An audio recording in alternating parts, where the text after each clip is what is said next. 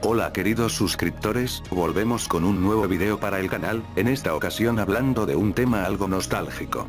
Ya que la película de Dragon Ball Z La Batalla de los Dioses, se estrenó, el día 30 de marzo del 2013. Exactamente hace 10 años.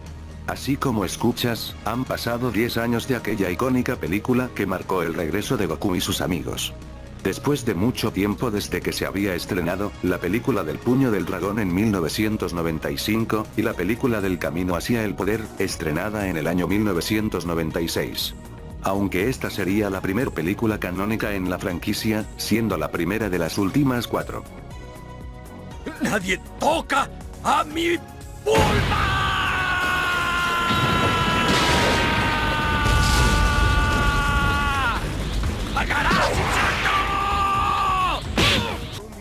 Quizás para muchos, la película de la batalla de los dioses es en algo aburrida, o de trama muy simple a como nos tenían acostumbrados en esta franquicia, pero lo cierto es que sin esta apuesta como tal, no habría Dragon Ball Super, ya que uno de los factores de aceptación para la continuidad de Dragon Ball, es sin duda alguna, esta gran película que a mí me gusta muchísimo. Y la recuerdo con gran cariño. Especialmente ahora que han pasado 10 años desde su estreno en Japón.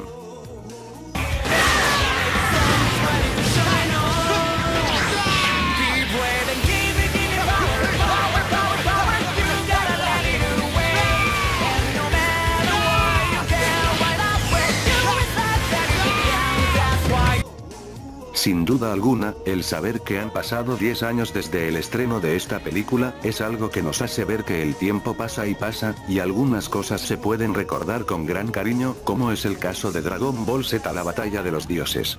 Independientemente si esta película es o no de tus favoritas, espero me puedas compartir tu opinión en la caja de comentarios. De mi parte es todo, y nos vemos hasta la próxima.